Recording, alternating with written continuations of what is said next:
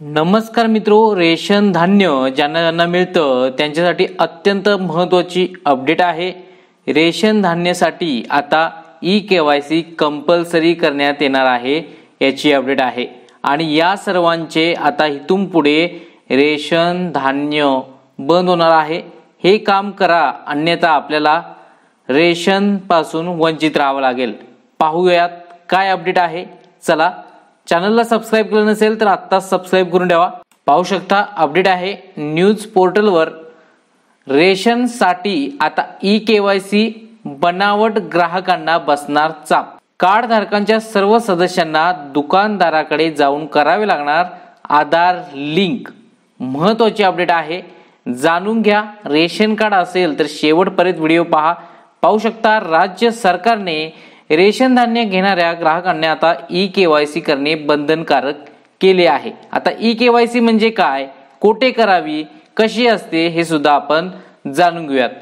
पहा त्यातून बनावट तसे मृत लाभार्थी कमी होऊन धान्यांचे वितरण पारदर्शकपणे होईल असा राज्य सरकारचा दावा आहे. ई के वाय सी करताना कार्डधारकाच्या सर्व सदस्यांना दुकानदाराकडे जाऊन आधार क्रमांक जोडावा लागणार आहे.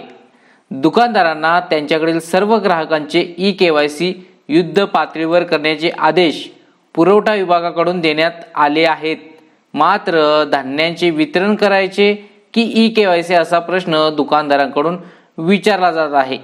राज्य सरकारने रेशनवरील धान्यांचे वितरण पारदर्शकपणे होण्यासाठी आता सर्व ग्राहकांना ई के वाय सी बंधनकारक केले आहे. त्यामुळे एका कार्डावरील सर्व कुटुंबातील सदस्यांना रेशन दुकानदाराकडे जाऊन ई के वाय सी करावे लागणार आहे. त्यासाठी अद्ययावत असलेले आधार कार्ड आवश्यक असून दुकानदाराकडे गेल्यानंतर नवीन फोर जी ई पास मशीनद्वारे आधार क्रमांक टाकून बोटांचे ठसे व डोळे स्कॅन करून ई के वाय सी करता येणार आहे. मात्र एखाद्या ग्राहकाचे दहा वर्षापूर्वी आधार कार्ड असल्यास ई के वाय सी करण्यापूर्वी हे आधार अपडेट करावे लागणार आहे. मित्रो पहा दहा वर्ष झालं असेल आधार कार्ड तर तुम्ही आधार कार्ड अपडेट करून घ्यायचं आहे आधार सेवा केंद्रातून. त्यानंतरच रेशनचे ई के वाय सी करता येणार आहे. पहा अशा पद्धतीने आपल्याला आता ई के वाय सी करणं बंधनकारक होणार आहे. राशन धान्य दुकानदाराकडे ही सुविधा उपलब्ध असणार आहे. पहा आम्ही धान्य वितरण करायचे की केवायसी असं दुकानदारांचा प्रश्न आहे.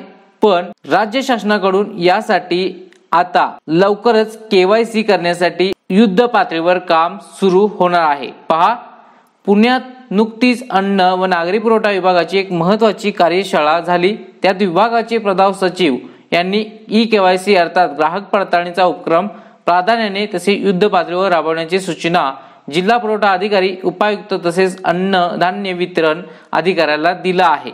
त्यानुसार सर्व रेशन धारकांना आपल्याकडील सर्व ग्राहकांचे ई केवायसी तातडीने करण्याचे आदेश काढण्यात आले असून रेशन दुकानदाराने मात्र याला विरोध दर्शविलेला आहे.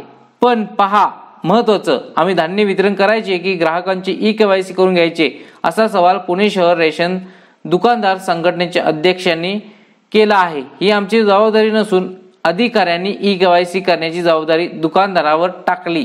असा आरोपही त्यांनी केला आहे. यासाठी अधिकाऱ्यांनी विशेष शिबिरे राबविल्यास त्यांना दुकानदार सहकार्य करतील असे सुद्धा स्पष्ट म्हटलेलं आहे. पहा ई केवायसीच्या माध्यमातून पडताळणी करून मृत तसेच बनावट ग्राहकांची नावे कमी करण्यात येतील. यामुळे धान्याची बचत होऊन नवीन लाभार्थ्यांना त्याचा लाभ देता येईल असा राज्याचा राज्य सरकारचा हेरा आहे. तर मित्रो आपल्याकडे सुद्धा लवकरच ई के वाय सीचा ऑप्शन येऊन जाईल. तोही तुमच्या रेशन धान्य दुकानदाराकडे. त्यामुळे ज्यावेळी तुमच्या दुकानदाराकडे अपडेट येईल त्यावेळेला तुमच्या घरातील सर्व सदस्यांनी आपलं ई के वाय सी करून घेणं गरजेचं आहे.